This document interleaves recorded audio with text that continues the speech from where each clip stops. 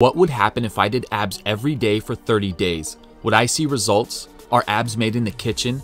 Can you get abs while also trying to put on weight and gain muscle?